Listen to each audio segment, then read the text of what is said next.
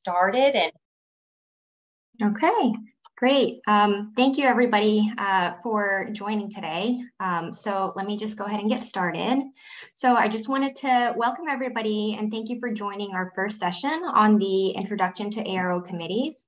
Um, for those who don't know me, my name is Kathy Sung from NIDCD at the National Institutes of Health, and I'm also the chair of the ARO Educations Committee. Uh, this past Monday, most of you, uh, if not all, probably received the volunteers needed email that looks just like what you see in this PowerPoint slide. And uh, some of you who are considering volunteering for ARO committees may not know their full roles and not sure which committees to volunteer for. So today we invited the chairs of five ARO committee uh, from Council, Diversity and Minority Affairs, Long Range Planning, program, and membership to provide information about their roles and responsibilities. Uh, also, please join us again on March 22nd to hear from the chairs of additional committees that include travel awards, accessibility and accommodations, awards, external relations, finance, and educations committee. And uh, lastly, uh, let's see if I can get through. Lastly, um, and I just want to go through this quite briefly, um, for students, postdocs, medical residents, and fellows in the audience, we're, uh, we're also looking for volunteers to join SPARO. SPARO organizes and hosts several workshops at the ARO Midwinter Meeting and also has initiatives outside the Midwinter Meeting. The information session for SPARO is next Wednesday on March 15th. So with that, uh, I'm excited to introduce you to the chairs of the five ARO committees today and would like to start with Dr. Yuri Agrawal from Council, who is uh, the current ARO president from Johns Hopkins University. So um, with that, the floor is yours, Dr. Agrawal. Thank you so much, Kathy, and thank you for organizing this event. Thank you for our uh, partners at Parthenon for helping to organize this too. I think it's a great partnership that we have, and so we're really excited about uh, telling you all about the various ways that you can get involved with ARO. So uh, I'm delighted and honored to be the president of ARO this year. And my term started a few weeks ago. So I'm learning as well, kind of uh, the extent of the organization. I definitely want to participate in the introduction to these committees to learn more about them. Um, but specifically speaking about council, so this is the uh, group of individuals who um, essentially are charged with the management of the organization.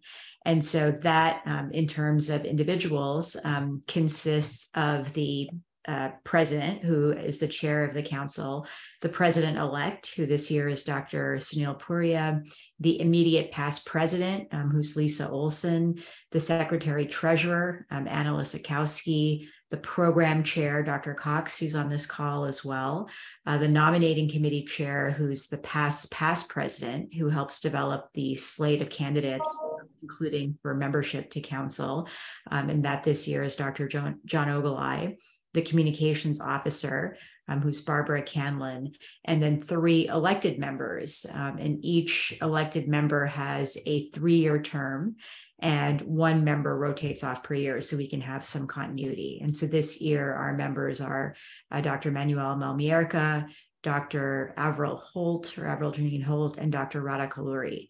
And uh, these are ways in which you know members of our organization can get involved uh, by certainly participating and standing for election as member of our council. And so council meets, um, you know, just in terms of our operations, uh, we meet quarterly, roughly, and we essentially manage the affairs of the association. So, amongst the major responsibilities that we have are um, establishing the venue, establishing the dates around the midwinter meeting, as that's kind of one of the major focuses of the organization, the association. And so we typically determine this, you know, multiple years in advance. And so I think at this point we're setting the meeting location for 2026, um, but we work closely with um, the management group Parthenon in terms of uh, developing locations um, for our subsequent meetings. Um, we also uh, plan the annual meeting in terms of the scientific program. We have general oversight over that, uh, along with the um, program committee, and then also set the business meeting uh, location and date, uh, which takes place at the uh, midwinter meeting. We also fill vacancies in terms of committee chairs and uh, also in terms of um, taking on new committees or new working groups um, as part of the association. So we sort of help uh, respond to member interests and uh, try to, to um, dedicate and divert resources to support those interests. Um, other activities are that each of us, as members of council, are liaisons to one or more of the ARO committees. And so, as each of these committees meet, one member of council will serve as a liaison. And that really allows for when we meet as a council to have some um, understanding of what's uh, going on in each of the committees and ways that we can be helpful in terms of um, serving and furthering the interests of the committees. We also are involved in um, setting the budget for the organization, um, including setting the budget for the midwinter meeting and for the overall administration of the organization. And so, you know, reviewing what are the revenue lines and expenses of the organization and ensuring that we have um, a fiscally sound organization that we can then uh, pass on to, to subsequent councils. So those are generally the activities of the council. Um, I'm happy to answer any questions about membership or specific ideas that um, individuals have. Every once in a while, we'll organize town halls uh, to the broader membership so we can interact directly and discuss matters of um, current interest or importance. And so, you know, certainly if members have anything that they would like to discuss in that uh, more open format, the council is certainly open to that if there are any issues that um, are specifically relevant for the membership at this time. Um, you know, some of the recent um, activities of council are that um, under Dr. Litovsky's tenure as president, um, we developed the Accessibility and Accommodations Committee. Um, and so there's definitely uh, movement and uh, new ideas that uh, gain sort of official um, participation within ARO as part of the activities of council. So happy to take any feedback or questions or comments from the group here. Okay, um, thank you so much. That was great. Um, does anybody from the group have any questions for Dr. Agrawal?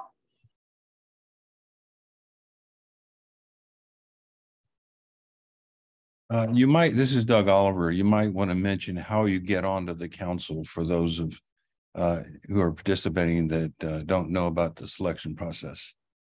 Absolutely. And, you know, Don, you can fill in a little bit on the exact dates. Um, but essentially, the nominating committee puts forward uh, potential uh, candidates for uh, council membership to be on the ballot for council membership. And so, um, you know, certainly it's based on participation in um, ARO, um, you know, individuals' contributions. And so that's typically mm-hmm. how um, an individual may be considered to be a candidate for council membership. You know, certainly that being said, if anyone has any interest in serving on the council, I think certainly letting anyone on the council know, you know, I'm happy to uh, to be notified of that. You know, if you have an interest, certainly letting this year it's Dr. Oghalai know who's on the nominating committee. Um, you know, I think those are all ways of um, you know trying to get more involved uh, and and potentially be on the ballot. Uh, but that's the process. It, it, it is the nominating group that puts an individual on the ballot.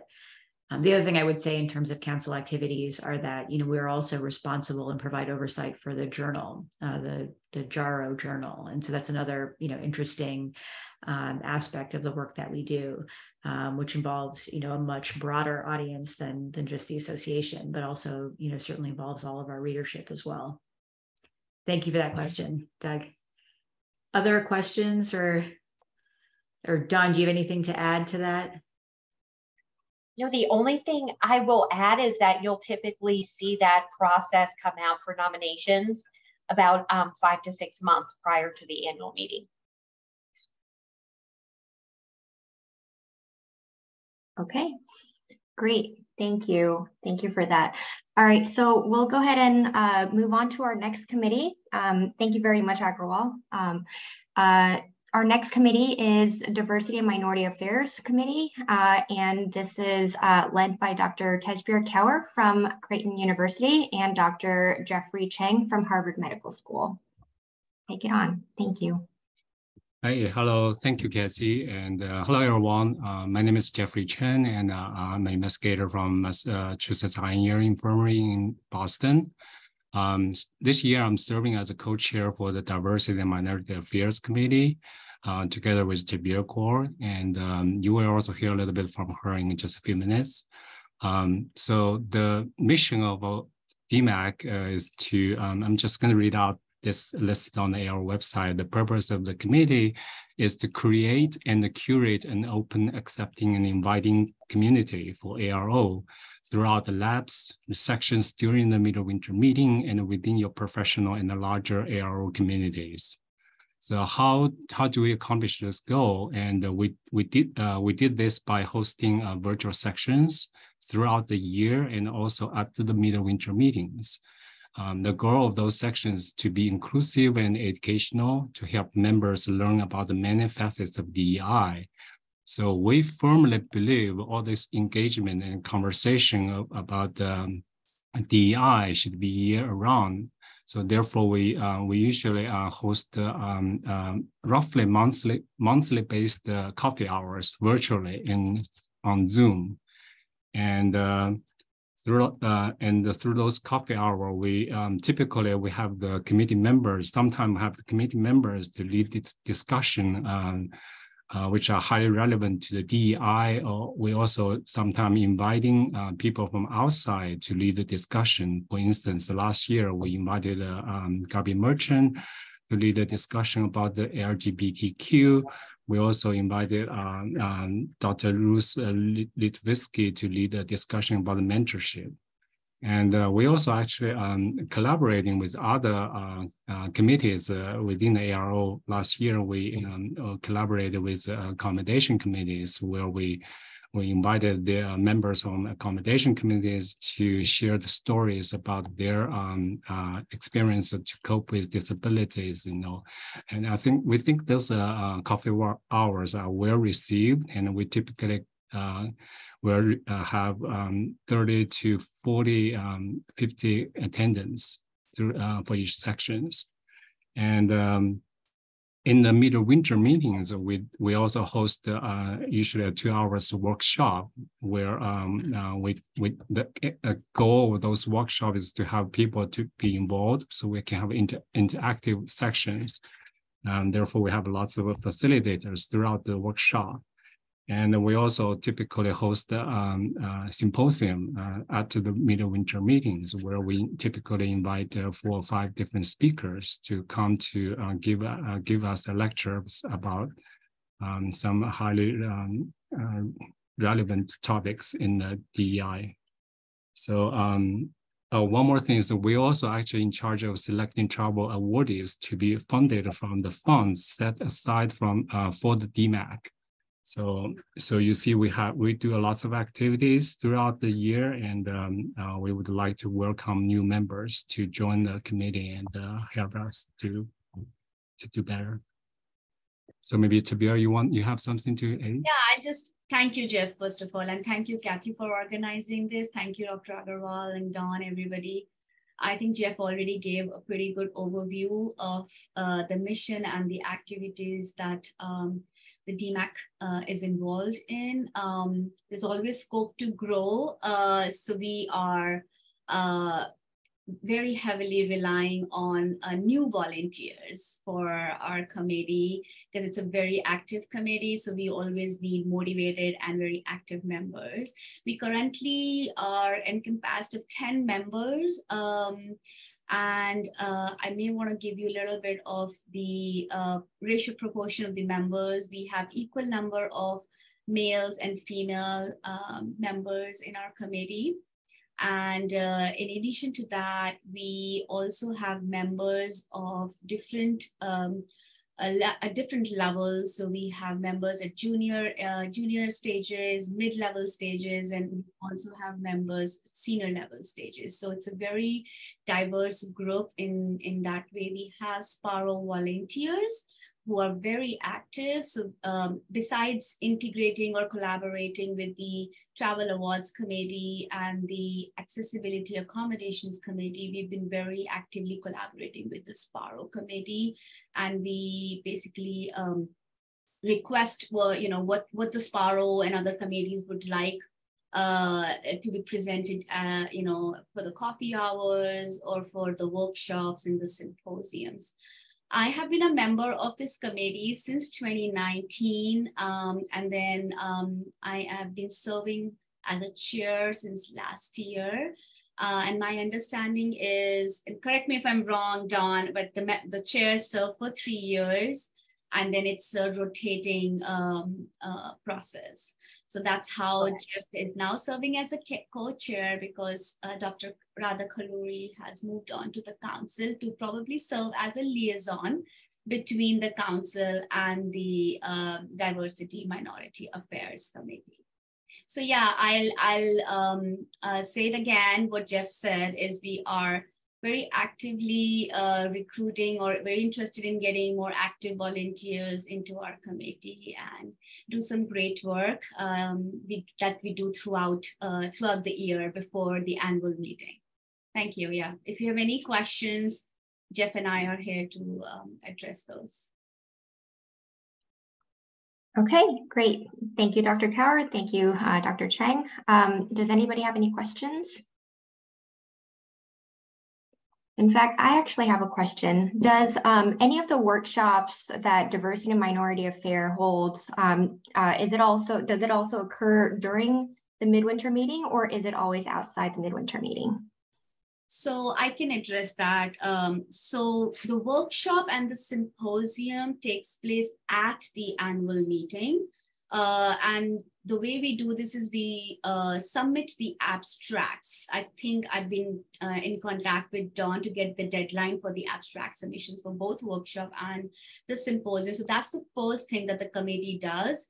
And then we do a lot of, uh, uh, you know, we're involved a lot of conversation to determine what topic we should do for workshop and symposium at the annual meeting. It's the coffee hours, Kathy, that are done um, um, month on a monthly basis. And for that, we have uh, a separate subcommittee. So they manage the coffee hours. And again, uh, we have a set of topics every year um, that we, um, you know, pick and choose based on our regular meetings. And we are the subcommittee, the coffee hour subcommittee organizes those. Yeah, just uh, one more uh, add on, as I uh, emphasized earlier, and we would like to ha have year-round uh, conversations, and that's why those coffee hour will be hosted uh, like like on a monthly basis and uh, virtually throughout the. Yeah, I think the purpose of the coffee hours is to educate uh, and bring awareness, but workshop is more is more focused on doing actual, uh, you know, activities to uh, learn uh, tools and skills on how to, uh, you know, uh, address those challenges if we encounter them at work or even at home. So for that, we need longer time and we prefer doing it in person. So therefore the uh, workshop is uh, at the meeting for uh, two, for the, for two, almost two hours. Yeah. And I think we are steady. We, as since I have been a member, uh, we I we have organized three workshops, and I'm clearly seeing a steady growth uh, in the participation from ARO members at the workshop. So it's it's pretty good, pretty exciting uh, to be part of this committee and do these kind of stuff. Yeah. So our committee does meet monthly, so um, to plan for all these activities. So there's a lot of exercise too. Um, okay, that's that sounds great. Um, I, guess I have one uh, small question that I think might help um, uh, individuals who are uh, interested in volunteering, which is how much time uh, commitment do you think it would be for individuals who are willing to volunteer uh, for this committee?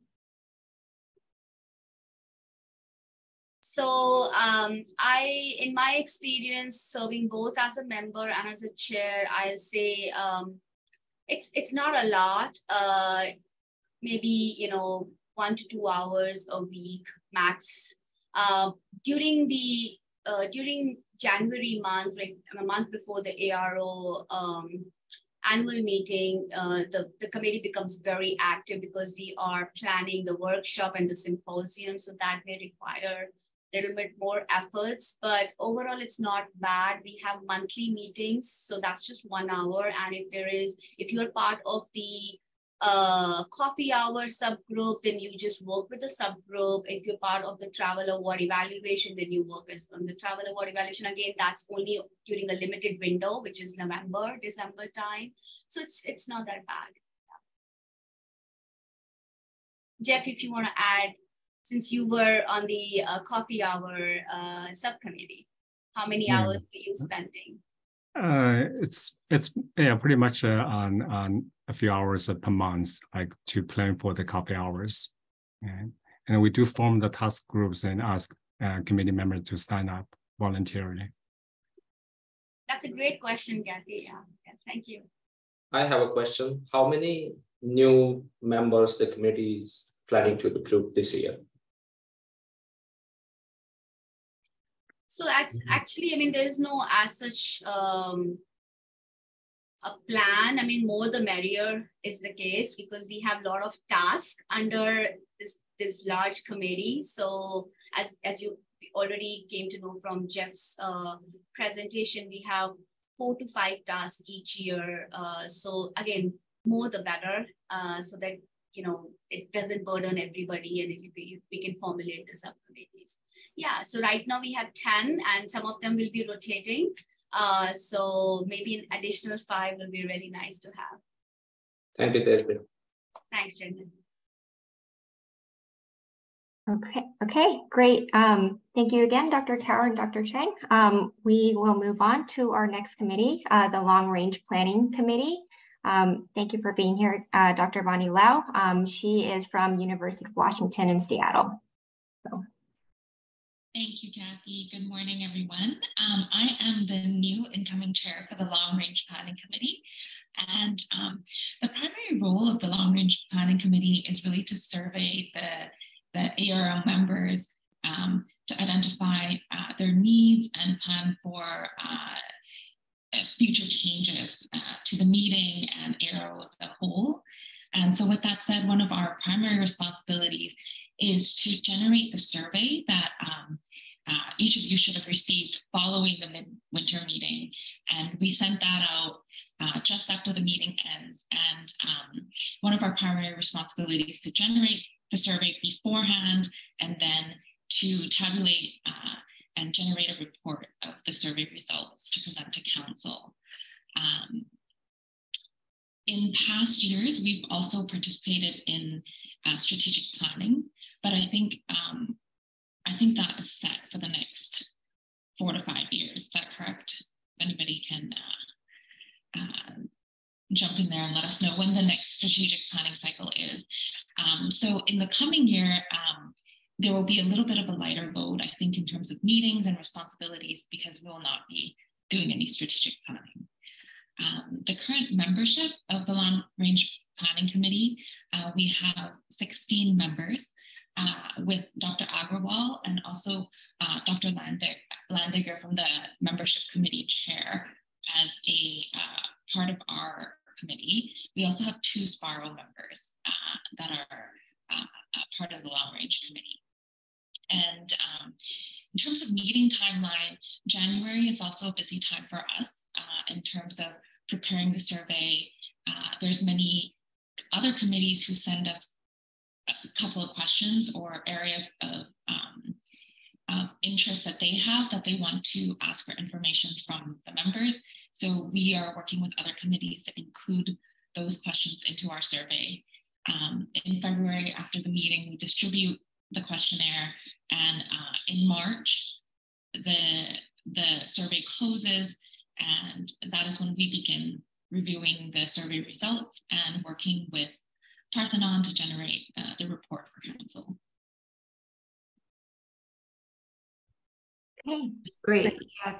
Thanks. Just a quick uh, response to your question about the strategic plan. So it, in fact, was written um, 2021, 22. So there is a little bit of a reprieve from that process for the next few years, yeah. for sure. Yeah, I was I was just saying uh, in the past couple of years, we have met quite a bit.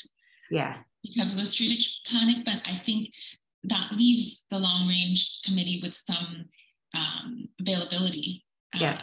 for brainstorming what we might want to participate in the next coming uh, years at least in the next three or four years, because we do have a little bit of uh, availability opened up from that. Absolutely. Yeah. And um, so just a quick follow up, if, if I may.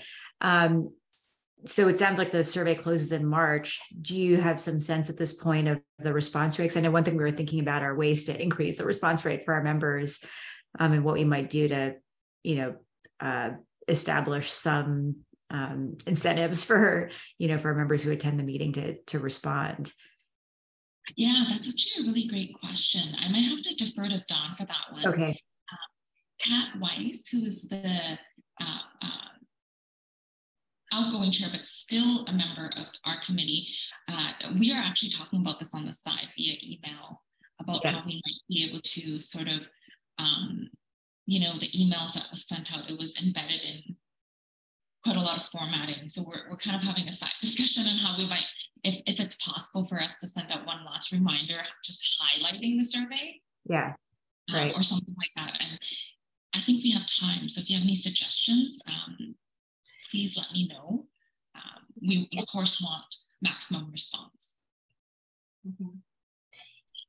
And I would agree with that. I think, you know, what we're really going to have to think through is maybe how to feature what this survey actually impacts and for people to see the impact of the survey results in different ways. So maybe that's us really taking the survey and flushing it out and really highlighting the different aspects of the meeting that have been impacted by the feedback of the members. The one thing we struggle with with incentives is that it is anonymous. We want it to be so people feel very free um, to give their true feedback. And so that's something that we're always up against a bit um, is keeping that, um, you know, survey anonymous while still highlighting that it, it really is impactful to the organization. That's a good point. When does the survey close, Dawn? And do you have some early sense of the response rates? Yeah, so the we give 30 days um, typically unless there's um, you know CEs offering offered with recordings and stuff. Sometimes we'll extend that just a little bit, but we try to get everything in 30 to 45 days at the most um, because it's fresh in people's mind. Right now, we're seeing a lot of positive feedback. I've been checking from time to time come in. We have um, well over 100 responses. So I just looked up last year's response rate and, and just keeping in mind that last year we were still um, not fully in person. So last year we had 484 responses to the survey and that, that's about 23% of the people who attended the meeting. Got it. Yeah. So I think there's some great opportunities here to think about, you know, how to get you know, and certainly that's a great number. And so, you know, we may not um, get a whole lot more information, you know, by getting more people, but I think, you know, obviously the more people we can hear from, because um, we we may end up hearing more from people who have certain kinds of feedback to make or who are you know uniformly happy, and so just to make sure that we can get an even sense of of the organizations, that could be something we can brainstorm about in the committee. You know, ways that we can feature the survey and um, you know sort of encourage people to respond because of the impact that it'll have on the organization so right that's a great point even if um, all of the committees can help us pass on the word and yeah um, brainstorm with their own committees on how we might be able to um, increase response to the to the to the survey that would be already i think a big step Okay, great. Dr. Oliver, I think, has a question. Uh, yes, um, I was wondering, uh, does the Long Range Planning Committee play a role in uh, deciding where the meeting will be held in the future? That is a really great question. When we had our meeting at ARO this past this past uh, ARO meeting, that was actually one of the topics that the long the current long range planning committee um, felt pretty uh, was a big priority for us. And so, I mean, we haven't talked to Dr. Agrawal or anyone else, but it's something that we actually want to become more involved in, if possible. Don, do you want to say anything about that? I know that we usually have these conversations in council. Yeah, I, I think that's a conversation we'll have to carry forth into the council meetings and see um, how we could incorporate that feedback um, from the long range planning committee. Um, I do know it's, you know, these decisions are never easy. Um, and so it may be where we can look at that committee, we can look at um, all of the feedback we're getting, and maybe the committee can make some recommendations to the council to consider. Um, but we definitely will talk about this in an, on an up, upcoming committee or council meeting to see how we could really go about incorporating that voice. Okay. That was definitely a concern, a, a, a priority interest for the, the committee that we self-generated. Yeah, I think that's a great point. I mean, I think there's so many factors that are that limit the parameter space a bit in terms of the location and term, you know, close to international airport that accommodates our minimum, that has reasonable hotel prices, you know, that can accommodate our date and time footprint. And so that makes it, you know, it narrows the pool considerably. But if there are other considerations, you know, that are relevant to the membership, I think certainly, you know, that could help guide the decision making. So yeah, we've had a lot of members bring up um, uh, different different parameters that we may perhaps think of. Like for example, in California, uh, some of the the our members based out of California are, are actually not allowed to. There's a, the list of states that are, um, I think, anti-abortion. Yeah. That they are not allowed to be reimbursed for coming to the meeting. So this meeting that they had to to fund and support on their own because it was in Orlando and things like that. So we, we became aware of some of these issues from talking to members at the ARO. And so we just started generating a list, um, yeah. which we hope will come up in the survey, uh, but um, we will we will soon see. I think yeah. another parameter that was brought to attention to the DMAC was uh, LGBTQ, especially for this past ARO, was the LGBTQ, uh, you know, uh, member participation being the meeting at Florida. So that was another uh, factor, uh, maybe I maybe to be considered for future planning. Exactly. Yeah. Yeah, and we, you know, we've had similar conversations in council, you know, because I think we're trying to figure out how to navigate this and whether we want to have, you know, some kind of a specific policy or, you know, that guides us in terms of thinking about these considerations and thinking about, you know, the safety of our own members who are attending the meeting, you know, and then uh, the reimbursement issue I, I actually hadn't heard about, but that's an interesting angle as well. And I think one of the things we were talking about is that, you know, since we're planning for 2026, it's so hard to know in some ways, you know, what the landscape is going to be then. Um, and so, but I think, you know, we obviously have to make some decisions with the best knowledge that we can. And so incorporating all these considerations, I think is really important. So um, certainly we're open to it and we want all the committees to feel empowered to send us information that they're hearing from their committee members and from the membership um, that may or may not come through the survey um, that would be relevant to the decision making of the council. So um, just putting that out there that, you know, I, I definitely want to hear that. And I think the council does too. Okay, great, thank you. I just had one brief question for the purpose of volunteers. Um, are you, uh, is Long Range Planning Committee also looking for um, regular members as well as SPARO members? You've indicated that there's two SPARO members currently serving the Long Range Planning Committee. Yes, we welcome we welcome anybody who is interested in uh, joining the committee. Okay, sounds great. Thank you.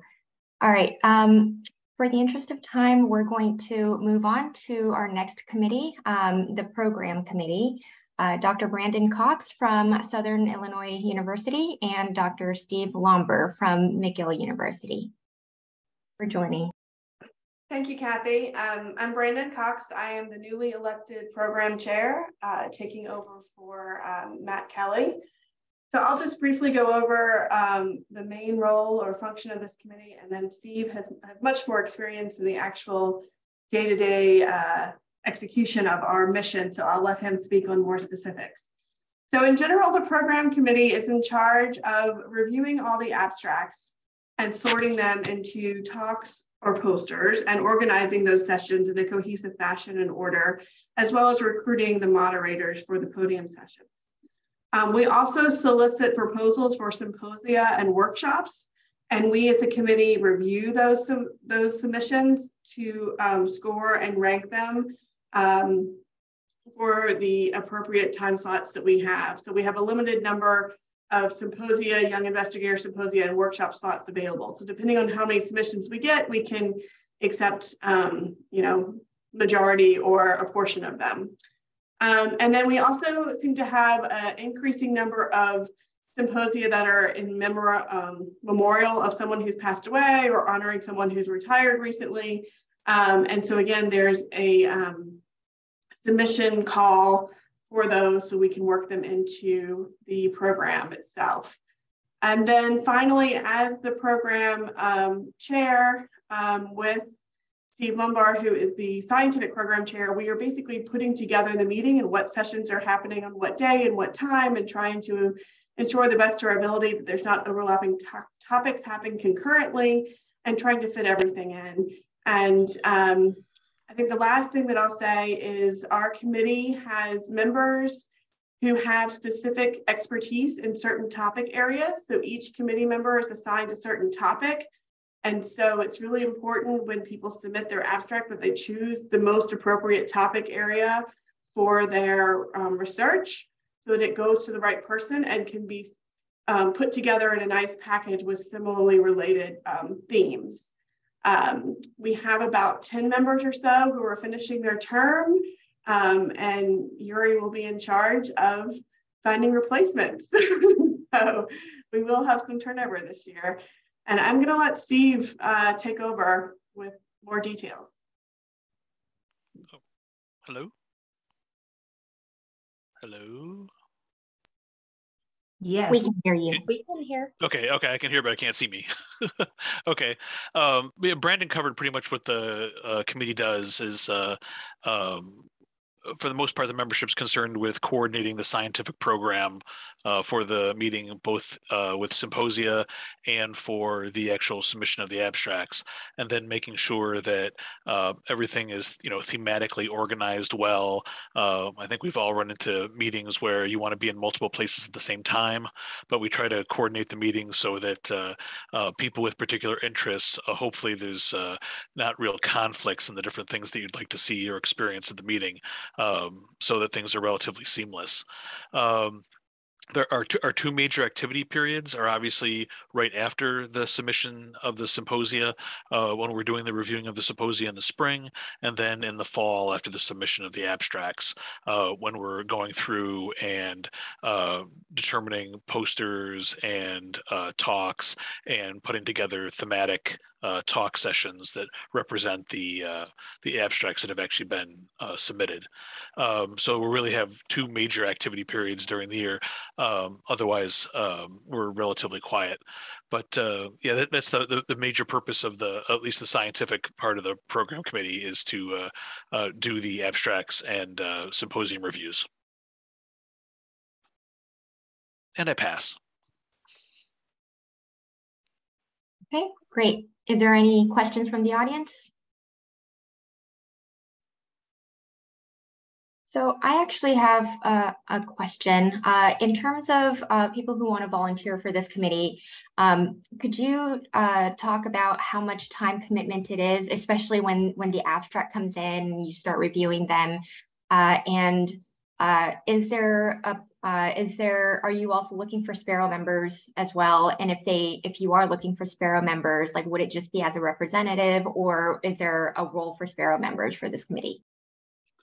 Um, so my understanding is we currently have a SPARO member um, and that person's term is ongoing. Um, I don't know, um, I defer to Steve and Don if there's room for additional members.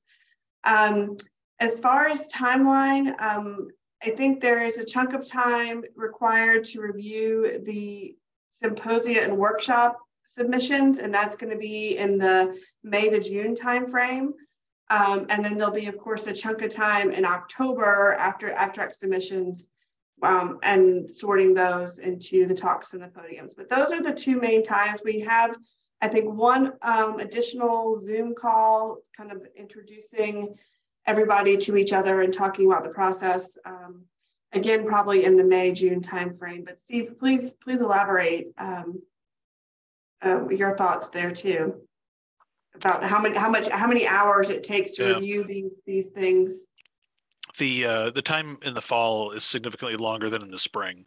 Uh, in the spring, I would say the typical person probably spends six hours reviewing the symposium uh, applications. Then we have a meeting to review all of them, and then in the fall, um, I would say it's probably more like uh, eight hours or twelve hours to um, uh, go through all the abstracts and thematically organize them uh, in, into individual sessions. So uh, it's a larger time commitment in the fall than in the spring.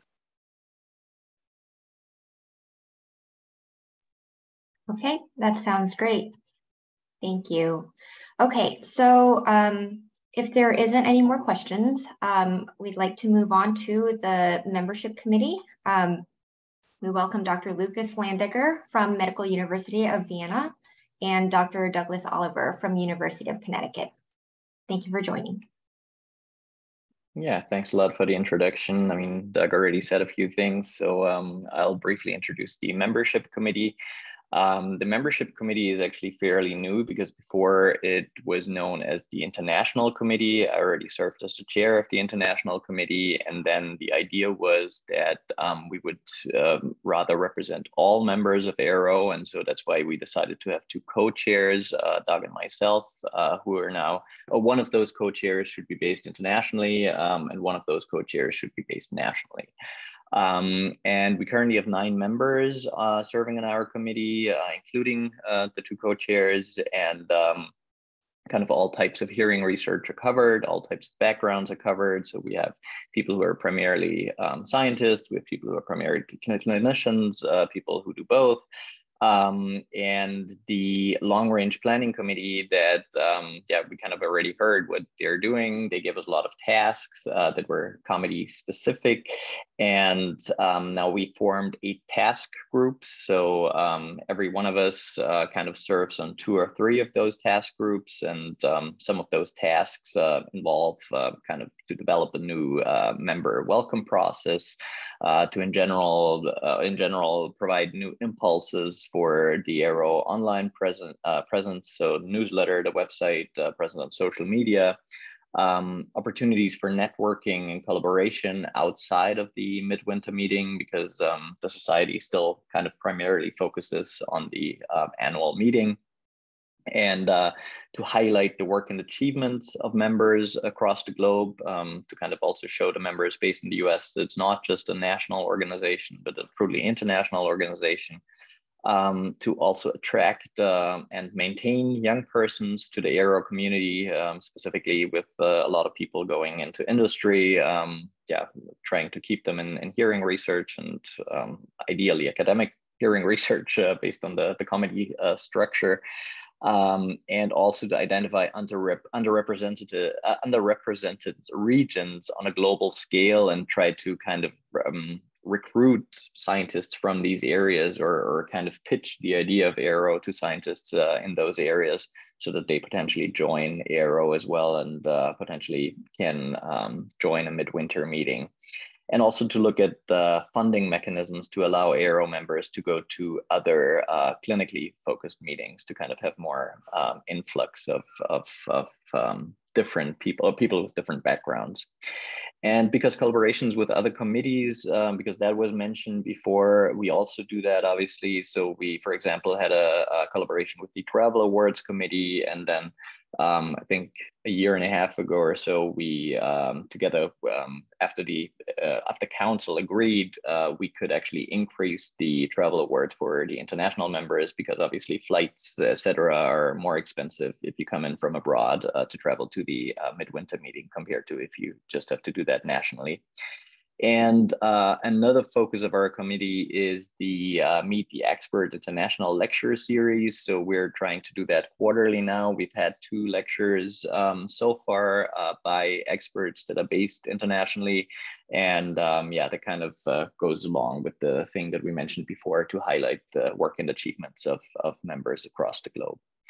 And yeah, I think that's a, a brief overview. And uh, Doug, if you have anything to add, please feel free. And otherwise, we're happy to answer any questions.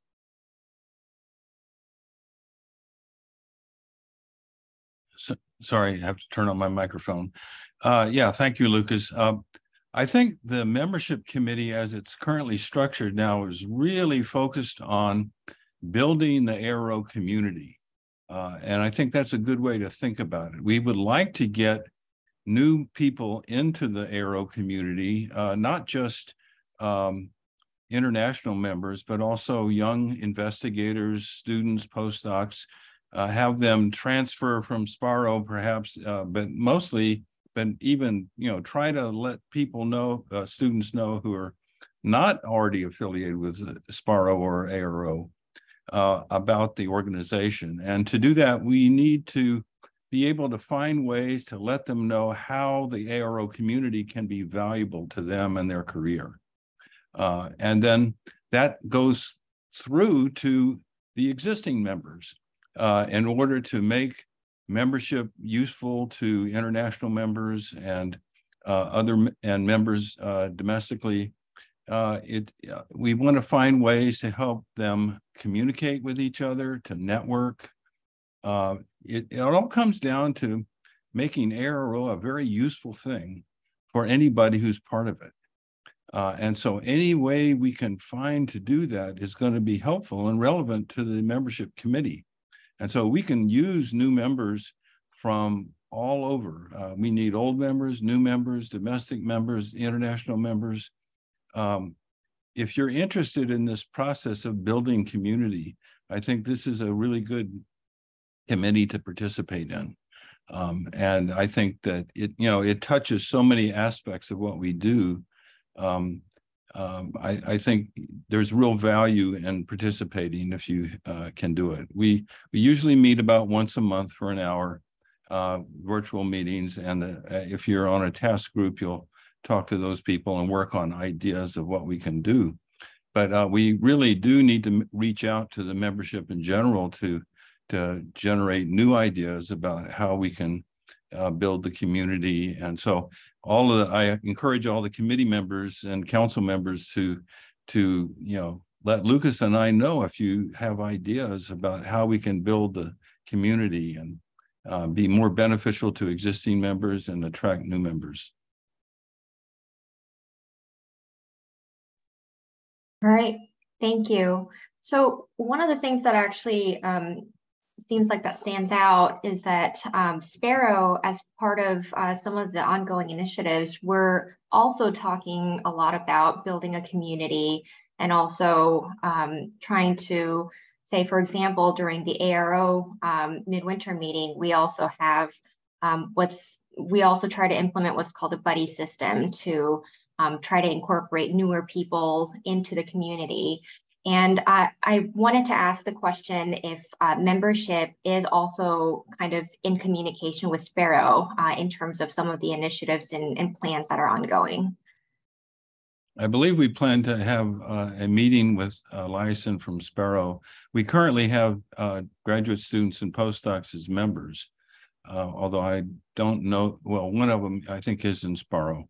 Um, exactly. Alejandro is the SPARO representative. So we do have an official representative, and there's a connection um, with SPARO, obviously, and uh, yeah, trying to uh, pitch ideas back and forth. Uh, but now we want to make it kind of even broader and, and ask them specifically uh, regarding the social media, because I mean, the, yeah, the, it's very different how. Um, I don't know, uh, a senior professor consumes social media compared to how SPARO people uh, consume uh, social media. So we definitely want to get their input there as well.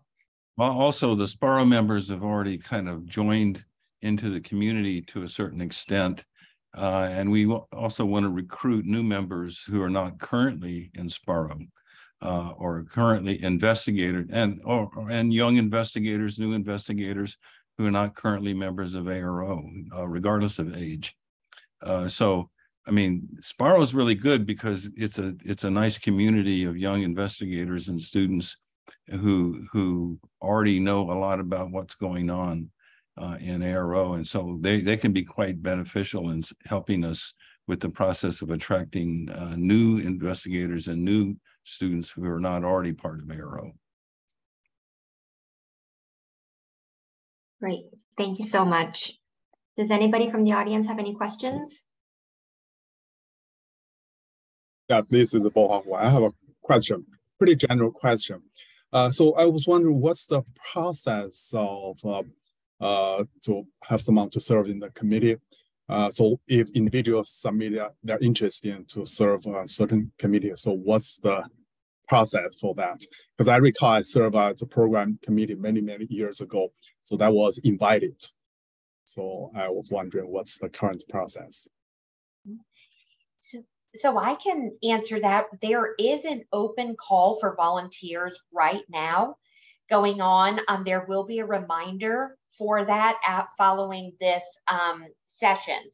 And so we invite everybody to apply um, wherever your interest levels are. And then the committee chairs will take a look at interest levels, match, um, you know, match passions and skill set and all of that. And then we will select committee members. Thanks.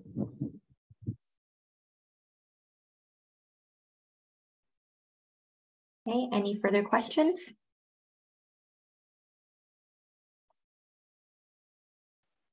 Okay, um, oh. go ahead.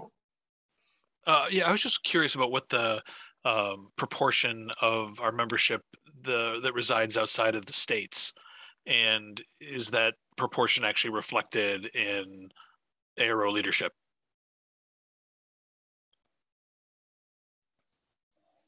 That is a very good question. I do know it is very intentional that we are diverse in our committees. Um, and so one of the things that we did with the membership committee to make sure that we're really paying attention um, to our complete audience and membership is we um, blended together the international committee um, into the new membership committee. That way we weren't working on things separately, but we were really looking at the membership as a whole. I will say, looking at the membership, we are still, uh, you know, ARO is still a good 60 to 70% US based. And I think we have our work cut out for us there. And that's um, part of the strategic plan is that we are very intentional with inclusion and diversity. We're ensuring that our leadership, um, both, you know, within committees and council, and also looking at our members on the committee to make sure that there's a balance and that we are um, seeing our entire membership reflected there. And so that is something that is ongoing, but I know it's very important to the membership committee as one of their charges. Steve, if I could make a comment, uh, when we had virtual meetings, we had a lot of participation from Europe and outside the US because uh, it was easy for people to get there uh, we could get a lot of participation from young people who you know might not be able to get paid to to uh, come to the U.S. and attend a meeting. Uh, you know, their professors have the money, and not all the young uh, graduate students get to travel.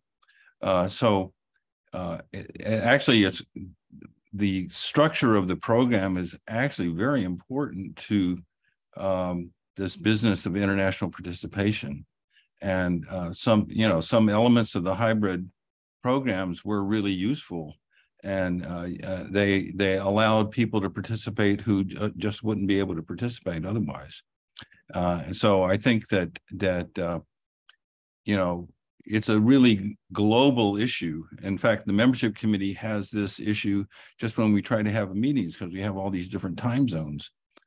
You know we have you know vienna portland oregon uh, India, we have a member in India, uh, a member in Colombia. I mean, uh, sometimes, I mean, but this is kind of the challenge with being an international organization.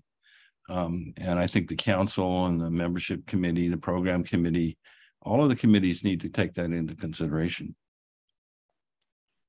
Thanks, And also because we briefly mentioned the survey, um, we obviously look at the survey results specifically also for international members. And there we saw that San Jose, for example, the last uh, pre-pandemic meeting was not an ideal location because the airport was rather small. So for international members to fly there um, was was not ideal. But uh, yeah, that was was considered now for with the with the future locations.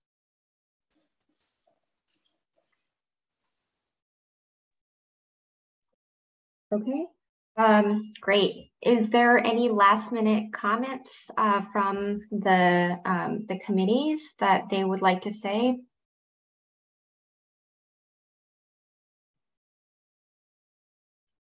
Okay, great. Thank you. Um, I think I just want to um, end by saying thank you to everybody who joined today. And I also want to really thank um, our uh, PMG, um, uh, Don Kegler, for, you know, um, having to organize this as well. And um, also, I want to uh, again remind everybody that we do have uh, the ARO committee, the Introduction to ARO com uh, committee coming up on March 22nd. Um, we have six committee that is going to be uh, that is going to be uh, joining that day.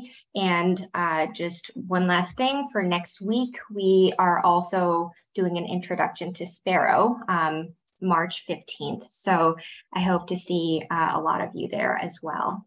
So uh, again, thank you everybody for joining today. Thank you. Thanks, Kathy, for a great program. And thanks to all the committee chairs for participating today. Great to see everyone. Thanks, Don. Thank you. Okay, have a great rest of your day, everybody. Bye-bye. Bye.